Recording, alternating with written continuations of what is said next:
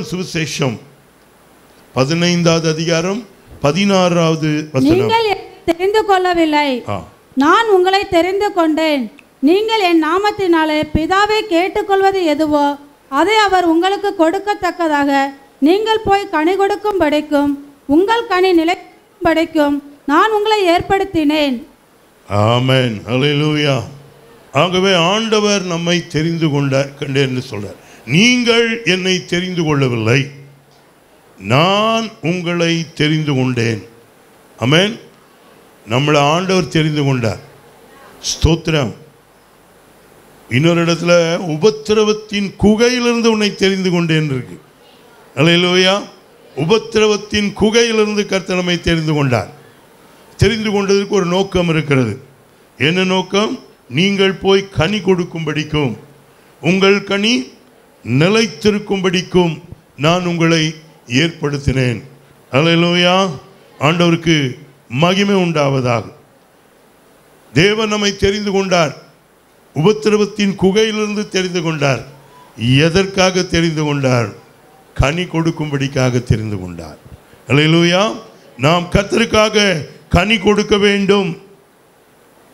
நீங்கள் போய் கனி கொடுக்கும்படிக்கும் உங்கள் கனி நிலைத்திருக்கும்படிக்கும் நான் உங்களை ஏற்படுத்தினேன் என்று ஆண்டவர் சொல்கிறார். ஆகவே ஆண்டவருக்காக நாம் கனி கொடுக்கிறவர்களாக இருக்க வேண்டும். அல்லேலூயா ஆண்டவருக்கு மகிமை உண்டாவதாக. ஆண்டவருக்கு மகிமை உண்டாவதாக. ஆண்டவருக்கு கனி கொடுக்கணும்னா பதினைந்தாவது அதிகாரம் நாலாவது வசனத்தில் என்னில் நிலைத்திருங்கள். நான் உங்களில் நிலைத்திருப்பேன். கொடியானது திராட்சை செடியில் நிலைத்திராவிட்டால் அது தானாய் கனி கொடுக்க மாட்டாது போல நீங்களும் என்னில் நிலைத்திராவிட்டால் கனி கொடு நீங்களும் என்னில் நிலைத்திராவிட்டால் கனி கொடுக்க மாட்டீர்கள். ஆண்டவரில் நிலைத்திருக்க வேண்டும். அல்லேலூயா ஆண்டவரையே சார்ந்து ஆண்டவரில் நிலைத்திருக்கும் பொழுது நாம் கனி கொடுக்க முடியும். ஆண்டவரில் நிலைத்திராமல் நம்மளால் ஒன்றுமே செய்ய முடியாது. ஆமேன் அல்லேலூயா என்னை அல்லாமல் உங்களால் ஒன்றுமே செய்ய முடியாதுன்னு ஆண்டவர் சொல்கிறார் ஆண்டவர் இல்லாமல் நம்மளால் ஒன்றுமே செய்ய முடியாது. ஆண்டவர் தான். ஆண்டவரில் நம்ம நிலைத்திருக்கும் பொழுது நிச்சயமாக ஒரு பெரிய ஆசீர்வாதத்தை கர்த்தர் நமக்கு தருவார். அதாவது நம்மை கர்த்தர் தெரிந்து கொண்டார். உபத்திரவத்தின் குகையிலிருந்து தெரிந்து கொண்டார். தெரிந்து கொண்டதுக்கு ஒரு நோக்கம் இருக்குது. என்ன பண்ணோம் கனி கொடுக்கணும். அமேன் ஆண்டவருக்காக கனி கொடுக்கணும். எத்தனை வருஷம் ஆகுது நம்ம ரட்சிக்கப்பட்டு? ஆண்டவருக்காக கனி கொடுத்துருக்குறோமா? ஒரு கனியாவது கொடுத்துருக்குறோமா? ரொம்ப வேதனையாக இருக்கிறது. ஆண்டவர் எஜமானாய் நம்முடைய தோட்டத்தின் இடத்துல வருகிறார். நம்முடைய தோட்டத்தை அவர் தேடி வருகிறார். நம்முடைய தோட்டத்தை அவர் தேடி வந்து கனி இல்லாத அந்த மரத்தை பார்த்து இது கனி கொடுக்கவில்லையே இது நிலத்தையும் ஏன் கெடுக்கிறது? ஆகவே இதை வெட்டி போடுங்கள் என்று சொல்கிறார். ஆனால் தோட்டக்காரனாகிய இயேசு கிறிஸ்து எஜமானாகிய பிதாவாகிய தேவன் கனி கொடுக்கவில்லை. ஏன் இது நிலத்தை கெடுக்கிறது என்று சொல்ல? தோட்டக்காரர் போல இயேசு கிறிஸ்து நமக்காக பரிந்து பேசுகிறார். இது இந்த வருஷமும் இருக்கட்டும் ஐயா. இது இந்த வருஷமும் இருக்கட்டும். கனி கொடுத்தால் சரி கனி கொடாவிட்டால் அது என்ன பண்ணலாம்? வெட்டி போடலாம். அமேன் என்று சொல்லுகிறார். ஆகவே ஒவ்வொரு வருஷமும் கிருபையாய் நமக்கு கொடுக்கப்பட்டிருக்கிறது. அலையிலோயா ஆனால் நம்மிடத்தில் நம்மை குறித்து கர்த்தருக்கு ஒரு எதிர்பார்ப்பு இருக்கிறது. என்ன எதிர்பார்ப்பு? கனி கொடுக்க வேண்டும். ஆண்டவருக்காக. ஆண்டவருடைய நாமத்துக்கு மகிமைக்காக கனி கொடுக்கிறவளா இருக்க வேண்டும். நாலாவது வசனத்தில் நீங்களும் என்னில் நிலைத்திராவிட்டால் கனி கொடுக்க மாட்டீர்கள். ஆகவே ஆண்டவரில் நிலைத்திருக்கும் பொழுதுதான் நாம் கனி கொடுக்கிறவர்களாக இருக்க முடியும். பதினைந்து ஐந்தில் ஒருவன் என்னிலும் நான் அவனிலும் நிலைத்திருந்தால் அவன் மிகுந்த கனிகளை கொடுப்பான். மிகுந்த கனிகளை கொடுக்க வேண்டும் என்று கர்த்தர் நம்மிடத்தில் எதிர்பார்க்கிறார். அலையிலூயா ஆண்டவருக்கு மகிமை உண்டாட்டும் கனி கொடுக்கணும் அது மிகுந்த கனிகளாக நாம் கொடுக்க வேண்டும் என்று கர்த்தர் நம்மிடத்தில் எதிர்பார்க்கிறார். ஆகவே கனி கொடுக்க ஆண்டவர் நிலைத்திருப்போம். அவருடைய கட்டளைகளில் நாம் நிலைத்திருப்போம். அவருடைய வார்த்தைகளில் அவருடைய பிரமாணங்களில் நாம் நிலைத்திருந்து கனி கொடுக்க ஆண்டவர் தாமே நமக்கு உதவி செய்வாராக. பதினைந்தாவது அதிகாரம் எட்டாவது வசனத்தில் நீங்கள் மிகுந்த கனிகளை கொடுப்பதினால் என் பிதா மகிமைப்படுவார். எனக்கும் சீஷராயிருப்பீர். நாம் மிகுந்த கனிகளை கொடுப்பதனால பிதாவாகிய தேவன் மகிமைப்படுவார்.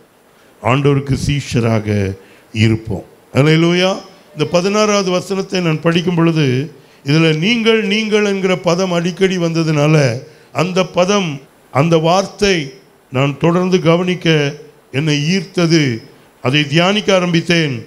பல வசனங்கள் எனக்கு பிரயோஜனமாக இருந்தது. அதைத்தான் உங்களோடு கூட பகிர்ந்து கொள்கிறேன். நீங்கள் மிகுந்த கனிகளை கொடுப்பதினால் பிதா மகிமைப்படுவார். எனக்கும் சீஷராயிருப்பீர்கள் என்று ஆண்டோர் சொல்கிறார். ஆகவே மிகுந்த கனிகளை கொடுக்க கர்த்தர் நம்மிடத்தில் எதிர்பார்க்கிறார். யோவான் சுவிசேஷம் பதினான்காம் அதிகாரம் பதிமூன்று பதினான்காம் நீங்கள் என் நாமத்தினாலே எதை கேட்பீர்களோ குமாரனின் பிதா மகிமைப்படும்படியாக அதை செய்வேன். என் நாமத்தினாலே நீங்கள் எதை கேட்டாலும் அதை நான் செய்வேன். என் நாமத்தினாலே நீங்கள் எதை கேட்டாலும் அதை நான் செய்வேன். அல்லேலூயா. ஆகவே ஆண்டவராகிய இயேசு கிறிஸ்துவின் நாமத்தினால நாம் எதை கேட்டாலும் அதை ஆண்டவர் நமக்கு செய்வார். கேட்கணும் ஆண்டவர்கிட்ட கேட்டு தான் பெற்றுக்கொள்ளணும். அதாவது தேவனிடத்திலிருந்து பெற்றுக்கொள்வது வழி கேட்டு தான் பெற்றுக்கொள்ளணும். கேட்கணும். அலையிலூயா ஆகவே எனக்கு எல்லாமே கர்த்தர் கொடுப்பார் அப்படின்றது இல்லை. எல்லாருக்குமே எல்லாத்தையும் கொடுத்துட்ருக்கா. மழை மழையை மழையும் கேட்கணும். நம்ம மழைக்காக கேட்கணும். மழைக்காக ஜோம் பண்ணணும். இல்லாமல் தண்ணி இல்லாமல் எவ்வளோ கஷ்டப்படுறாங்க இல்லையா? முழு நம்முடைய தமிழ்நாடு முழுவதுமே தண்ணீர் இல்லாமல் கஷ்டப்படுது. ஒரு நிமிஷம் நம்ம எல்லாரும் ஜெபம் பண்ணலாமா? எல்லோரும் கரங்களை உயர்த்தி வாய் திறந்து எல்லாரும் கேட்போம். இயேசுவின் நாமத்தினால. ஆண்டவரே மழை இல்லாமல் கஷ்டப்படுறோமே. ஆண்டவரே எங்களுடைய தேசத்துக்கு மழை வேணும் தண்ணி இல்லைப்பா. எல்லாரும் தண்ணிக்காக கஷ்டப்பட்டு கொண்டிருக்கிறார்கள். பல இடங்களில் ஆண்டவரே அவர்கள் தவிக்கிறதை நாங்கள் கண்கூடாக பார்த்து கொண்டிருக்கிறோம். ஏசப்பா நாங்கள் உண்மை நோக்கி பார்க்கிறோம். எங்களுடைய தேசத்துக்கு எங்களுடைய தமிழ்நாட்டுக்கு போதுமான மழையை நீங்கள் தர வேண்டுமா ஜெபிக்கிறோம். இயேசுவின் நாமத்தினால ஆண்டவரே சபையாக நாங்கள் எல்லாரும் ஒன்று கூடி நாங்கள் ஜெபிக்கிறோம். இயேசுவின் நாமத்தினால எங்களுக்கு போதுமான மழையை தாங்கப்பா. எங்களுக்கு தேவையான மழையை தாங்க. எங்களுக்கு எங்களுடைய நீர்நிலைகள் எல்லாம் நிரம்பி வழியக்கூடிய அளவுக்கு எங்களுக்கு போதுமான மழையை இயேசுவின் நாமத்தினால நீங்கள் தர வேண்டும் என்று சபையாக நாங்கள் சேர்ந்து ஜபிக்கிறோம். எங்களுடைய தேசத்தின் தேவை எங்களுடைய தமிழ்நாட்டின் தேவை அது அத்தியாவசிய தேவையாக இருக்கிறது. அண்டவரே நாங்கள் இயேசுவின் நாமத்தினால கேட்கிறோம். என் நாமத்தினால நீங்கள் எதை கேட்டாலும் அதை நான் செய்வேன் என்று சொன்னீங்களே. இயேசுவின் நாமத்தினால எங்களுக்கு மழையை தாரும் ஆண்டவரே. சொற்படியான மழை எழுப்புதலின் மழையும் தாரும். ஹalleluya நன்றி கர்த்தாவே. நீங்க அப்படி செய்ய போறதுக்காய் ஸ்தோத்திரம். நல்ல மழையை தரப்போறதுக்காய் ஸ்தோத்திரம். கரங்களை தட்டி கர்த்தரை மயமைப்படுத்துவோம் தேங்க்யூ ஜீசஸ் ஹalleluya நன்றி ஆண்டவரே. ஸ்தோத்திரம். நீங்கள் என் நாமத்தினால கேட்பீர்களோ? அதை நான் செய்வேன். ஆண்டவராகிய இயேசு கிறிஸ்துவை நாமத்தினால் நாம் கேட்கும் பொழுது ஆண்டவர் அதை நமக்கு செய்கிறவராய் இருக்கிறார். அலையிலூயா நீங்கள் என்கிற பதத்தை நான் தொடர்ந்து நான் உங்களுக்கு சொல்லிக் கொண்டிருக்கிறேன். ஆண்டவருக்கு ஸ்தோத்திரம்.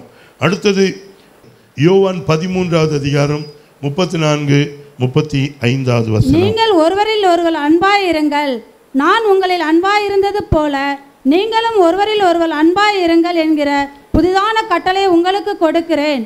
நீங்கள் ஒருவரில் ஒருவர் அன்புள்ளவர்களாய் இருந்தால் அதனால் நீங்கள் என்னுடைய சீசர்கள் என்று எல்லோரும் அறிந்து கொள்வார்கள் என்றார். ஒரு புதிய கட்டளையை நான் உங்களுக்கு கொடுக்கிறேன். நீங்கள் ஒருவரில் ஒருவர் அன்பாயிருங்கள் நமக்கு பேர் நம்ம ஆண்டோடைய பிள்ளைகள். நம்முடைய ஆண்டவர் அன்பானவர். தேவன் அன்பாகவே இருக்கிறார். அல்லேலூயா தேவன் அன்பாகவே இருக்கிறார். தேவனுடைய பிள்ளை என்று அழைக்கப்படுகிற நாம் அந்த அன்பை உடையவர்களாக இருக்க வேண்டும். அந்த அன்பினால் நிறைந்தவர்களாக இருக்க வேண்டும். அன்பில் அன்பு கூறுகளாக இருக்க வேண்டும். ஒருவரை ஒருவர் அன்பு கூறுங்கள். ஒருவரில் ஒருவர் அன்பாயிருங்கள். இது ஒரு புதிய கட்டளையாக கர்த்தர் நமக்கு கொடுக்கிறார். அல்லேலூயா ஆகவே அன்புள்ளவர்களாக நாம் காணப்படுவோம். நம்முடைய வாழ்க்கை நம்முடைய தேவனுடைய பிள்ளைகள் ஆகவே அவர் அன்பாயிருக்கிறார். அவருடைய பிள்ளை என்கிற நானும் அன்பாயிருக்க கர்த்தர் எனக்கு உதவி செய்வாராக. யோவான் பதினைந்தாவது அதிகாரம் இருபத்தி ஏழாவது வசனம். நீங்களும் ஆதி முதல் என்னுடனே கூட இருந்தபடியால் எனக்கு சாட்சிகளாய் இருப்பீர்கள். நீங்களும் ஆதி முதல் என்னுடனே கூட இருந்தபடியால் எனக்கு சாட்சிகளாய் இருப்பீர்கள். அமேன் ஹalleluya. என்னோடு கூட இருந்தபடியினால் எனக்கு சாட்சிகளாய் இருப்பீர்கள் என்று ஆண்டவர் சொல்கிறார். நீங்களும் ஆதி முதல் என்னோடு இருந்தபடியினால் ஆண்டோருக்கு சாட்சி. நம் ஆண்டோருக்கு சாட்சிகளாக இருக்க வேண்டும் என்று தேவன் நம்மிடத்தில் எதிர்பார்க்கிறார். ஆண்டவருக்கு சாட்சிகள். அல்லேலூயா இயேசு கிறிஸ்து இன்னும் அவர் பரமேறி போகிறதுக்கு முன்னாடி அப்போஸ்தலர் நடபடிகள் முதலாவது அதிகாரத்தில் எட்டாவது வசனத்தில் பரிசுத்தாவி உங்களிடத்தில் வரும் பொழுது நீங்கள் பலனடைந்து எருசலேமிலேயும் யூதேயாவிலேயும் சமாரியாவிலேயும் பூமியின் கடைசி பரியந்தமும் எனக்கு சாட்சிகளாயிருப்பீர்கள் என்று ஆண்டவர் சொன்னார். அமேன் பரிசுத்தாவின் அபிஷேகத்தை பெற்றுக்கொள்ளும் பொழுது நம் ஆண்டவருக்கு சாட்சிகளாக இருக்க முடியும். சாட்சி முதல்ல எருசலேமில் எருசலேம்னா இருக்கிற இடம். அமேன் இருக்கிற இடத்துல சாட்சியாக இருக்கணும். ஒரு ஆள் ரட்சிக்கப்பட்டாருன்னா அவர் இருக்கிற இடத்துல முதல்ல சாட்சியாக இருக்கணும். எருசலேமிலும் யூதேயாவிலும். அதாவது ஒரு ஒரு தண்ணி ஒரு கிணத்துல ஒரு கல்லை போட்டிங்கன்னா என்ன ரியாக்ஷன் பார்ப்பீங்க? தண்ணி அப்படியே அலை அலையாக போகும். முதல்ல எப்படி வரும்? அலை. சின்னதாக இருக்கிற இடத்துல. அமேன் இருக்கிற இடத்துல. அப்புறம் அடுத்த அலை அடுத்த அலை அடுத்த அலை கடைசி வரைக்கும் போகும். இதை தான் ஆண்டவர் நம்மக்கிட்ட சொல்கிறாரு சாட்சியாக இருக்கணும். அல்ல எப்படி சாட்சி? இருக்கிற இடத்துல சாட்சியாக இருக்கும். எருசலேமில் சாட்சி. அப்புறம் யூதேயாவில் சாட்சி. அப்புறம் சமாரியாவில் சாட்சி. அப்புறம் பூமியின் கடைசி பிரயந்தம் இப்படி தான் ஆண்டோருக்காக சாட்சியாக இருக்க முடியும். எல்லா இடங்களையும் நாம் சாட்சியாக இருக்க வேண்டும் என்று கர்த்தர் விரும்புகிறார். ஆனால் அது ஆரம்பத்தில் ஆரம்பிக்கப்படுகிறது. எருசலேம். நீ இருக்கிற இடத்துல தான் அந்த சாட்சி ஆரம்பிக்கப்படுகிறது. ஆகவே அந்த சாட்சியாக இருந்து நம் கர்த்தரை மகிமைப்படுத்த வேண்டும். அல்லேலூயா நீங்களும் ஆதி முதல் எங்களுடனே கூட இருந்தபடியினால் எனக்கு சாட்சியாய் இருக்கிறீர்கள் என்று சொன்னார். அமேன் ஸ்தோத்திரம். அடுத்தது மத்தையு ஐந்தாவது அதிகாரம் பதிமூன்றாவது வசனம். நீங்கள் பூமிக்கு உப்பா இருக்கிறீர்கள். உப்பானது சாரமற்று போனால் எதனால் சாரமாக்கப்படும்? வெளியே கொட்டப்படுவதற்கும் மனுஷரால் மிதிக்கப்படுவதற்குமே ஒழிய வேறொன்றுக்கும் உதவாது. நீங்கள் பூமிக்கு உப்பா இருக்கிறீர்கள் என்று ஆண்டவர் சொல்றாரு. பூமிக்கே உப்பு கத்தருடைய பிள்ளைகள். ஆமென். உப்பு ரொம்ப இருக்காது. உப்பு எவ்வளோ தான் இருக்கும்? உப்பு கொஞ்சமாக தான் இருக்கும். சாப்பாடு ஒரு படி சாப்பாட்டில் ஒரு கரண்டி உப்பு தான் இருக்கும். அப்படிதானே? ஒரு கரண்டி உப்பு தான். ஆனால் அது போதுமானதாக இருக்கும். அப்போ ஆண்டவர் நம்மளை பூமிக்கே உப்புன்னு சொல்லியிருக்காரு. பூமிக்கே கர்த்தருடைய பிள்ளைகள் உப்பு அது நிறைய இருக்காது. கொஞ்சம் பேர். அல்லேலூயா. ஒரு இடத்துல ஆண்டவர் சொல்லும்போது சொல்கிறாரு பயப்படாதே சிறுமந்தையே. உங்களுக்கு ராஜ்யத்தை கொடுக்க உங்கள் பிதா பிரியமாக இருக்கிறார். சிறுமந்தை நம்ம. சிறுமந்தையாக இருந்தாலும் பூமிக்கு உப்பாக கருத்தை நம்மளை வச்சிருக்கிறாரு. அல்லேலூயா. நம்ம ரொம்ப முக்கியமானவர்கள். நம்ம ரொம்ப முக்கியமானவர்கள். நீ அற்பமானவனாக காணப்படலாம். உப்பு அற்பமாக தான் இருக்குது.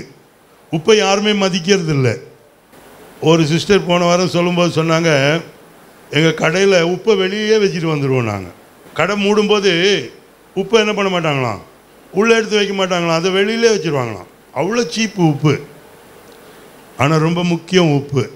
இல்லையா உப்பு ரொம்ப சீப்பு தான். யாரால் மதிக்கப்படுறதில்ல. நீ யாரும் உன்னை மதிக்கிறது இல்லை ஆனால் நீ ரொம்ப முக்கியமானவன். நீ ரொம்ப விசேஷமானவன். நீ தான் சுவை கொடுத்து கொண்டிருக்கிறாய். ஹalleluya நீ தான் ஆசீர்வாதமாக இருக்கிறாய். உன் குடும்பத்துக்கு உன் சமுதாயத்துக்கு நீ வேலை செய்யும் இடத்துல ஹalleluya நீ ஒரு உப்பு கர்த்தர் ஒரு உப்பாக வச்சிருக்கிறாரு. உப்பாக இருந்து உப்பு கரைஞ்சிரும். உப்பு தான் அப்படியே கட்டியாக இருக்காது. அது மொத்தம் கரைஞ்சி அது அங்கே இருக்கிறவங்களுக்கு எல்லாம் தியாகம் பண்ணும் உப்பு. தியாகம் தன்னை முழுதுமாக தியாகம் பண்ணிட்டு அது அங்கே இருக்கிறவங்களுக்கு எல்லாம் சுவை கொடுத்து கொண்டிருக்கும். நீயும் நான் அதுக்காக தான் அழைக்கப்பட்டிருக்கிறோம். அல்லையா ஒரு தியாகமான வாழ்க்கை நம்முடைய ஆண்டவர் வாழ்ந்தார். நமக்கும் அதைத்தான் சொல்லிக் கொடுக்குறாரு. நல்லா தியாகம் பண்ணு. தியாகம் பண்ணி மற்றவங்களுக்கு ஒரு ஆசீர்வாதமாக இரு.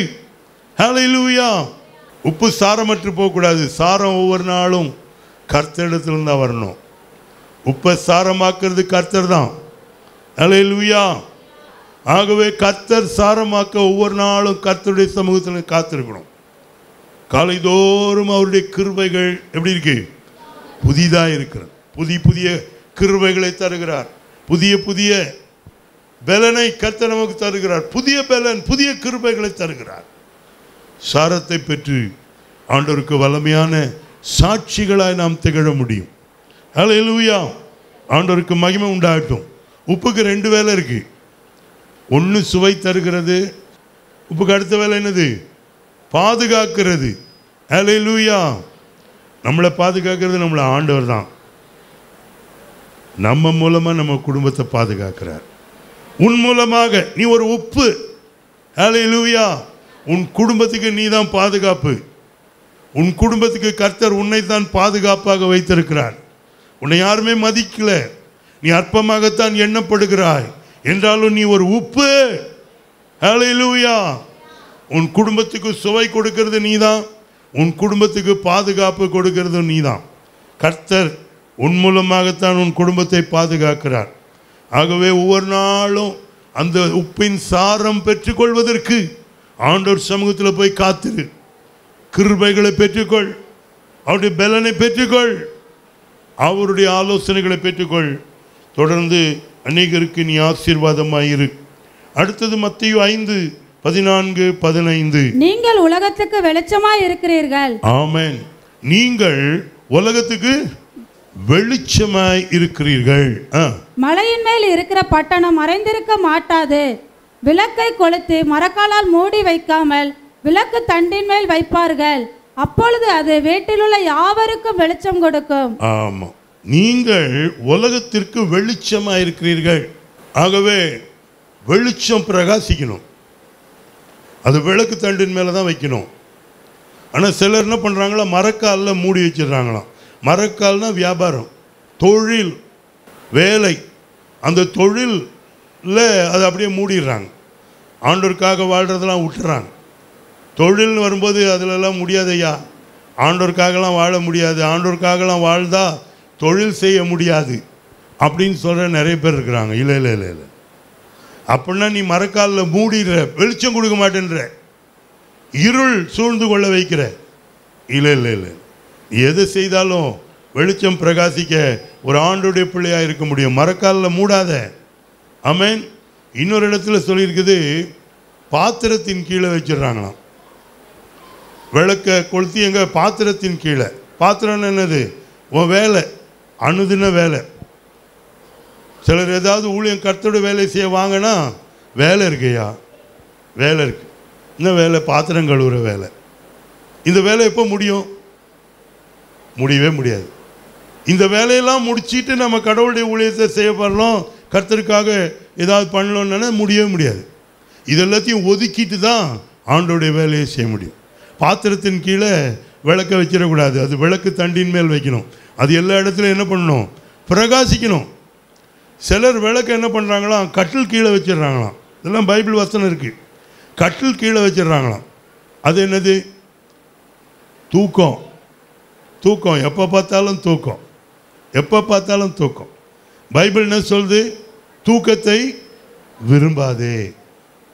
தூக்கத்தை விரும்பினால் தரித்திரனாவாய்.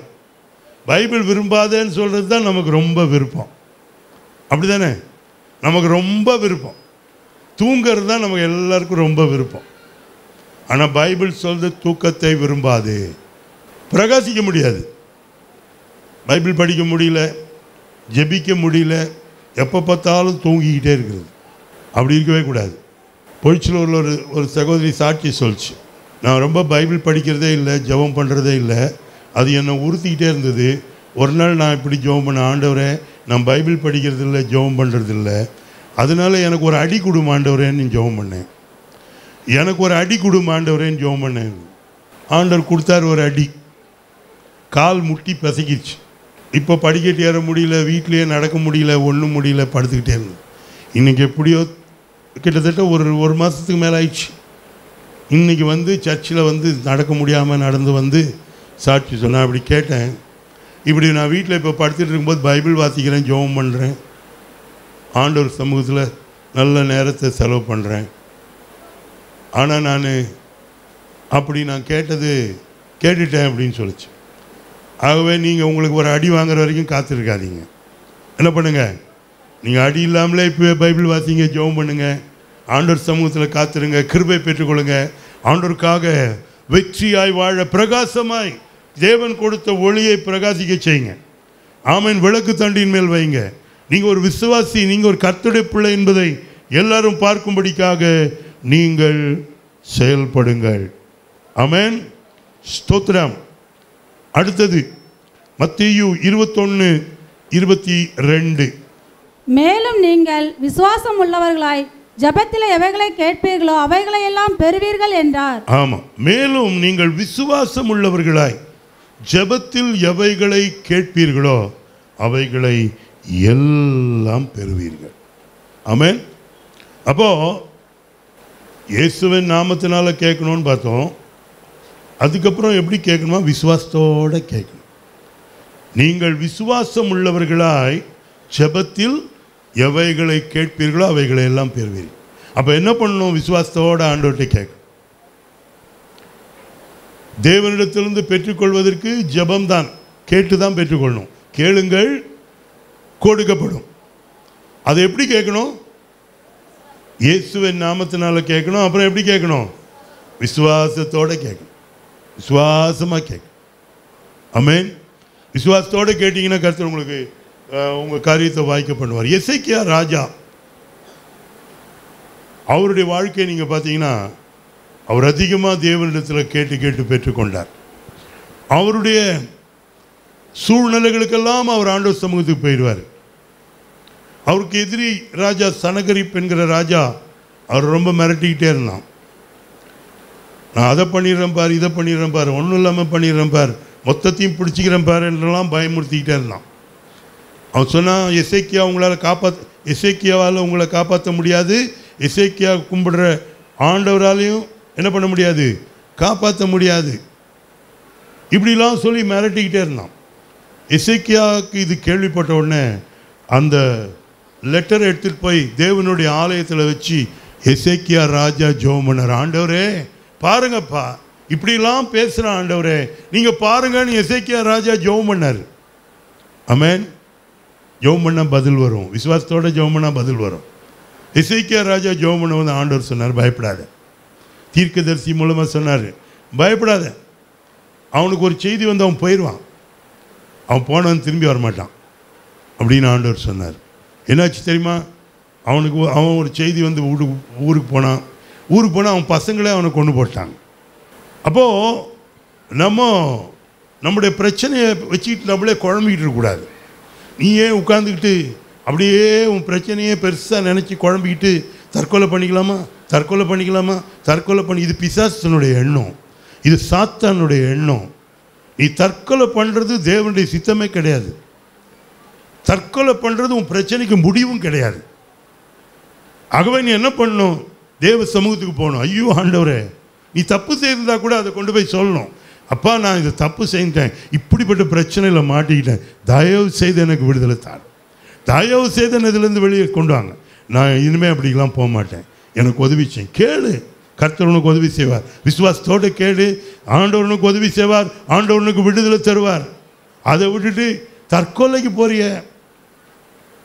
இப்படிப்பட்ட எண்ணம் யாருக்கும் இருக்கக்கூடாது.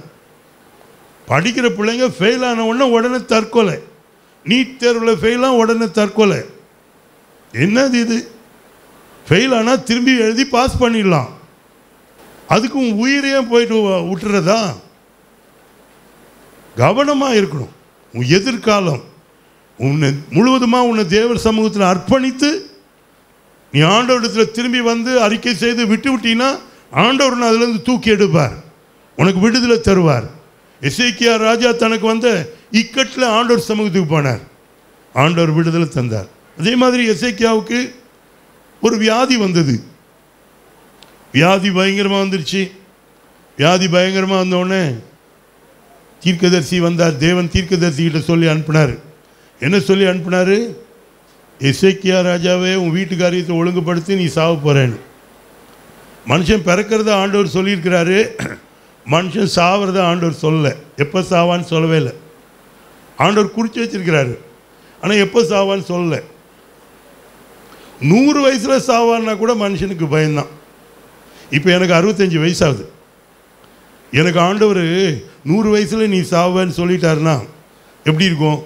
எனக்கு இப்போவே பயம் வந்துடும் இன்னும் முப்பத்தஞ்சு வருஷம் தான் நான் உயிரோடு இருப்பேன்.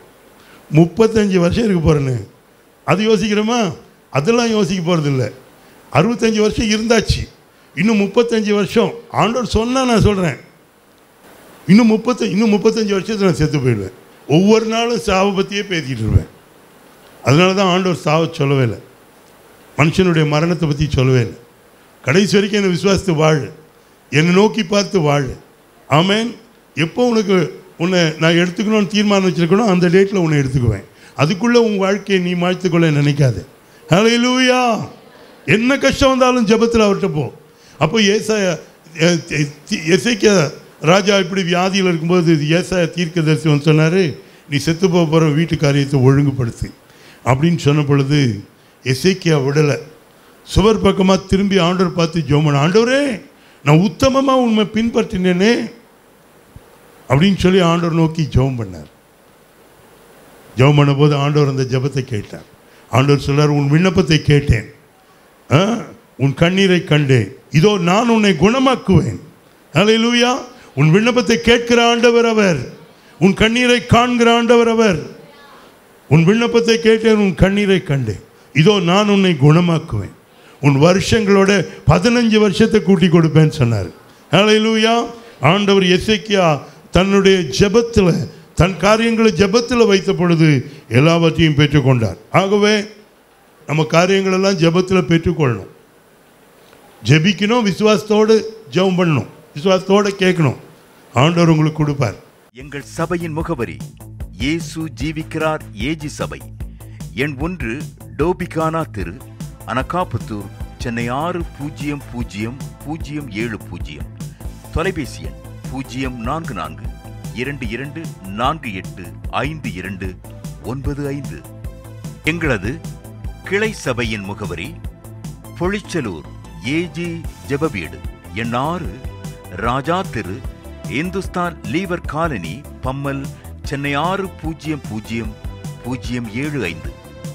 ஞாயிறு ஆராதனை நேரம் ஞாயிறு காலை பத்தேகால் மணிக்கும் ஞாயிறு மாலை ஏழு மணிக்கும் ஆராதனை நடைபெற உள்ளது. இவ்வாராதனைகளில் பங்கு பெறுங்கள் கர்த்தரின் ஆசிர்வாதங்களை பெற்று மகிழுங்கள்.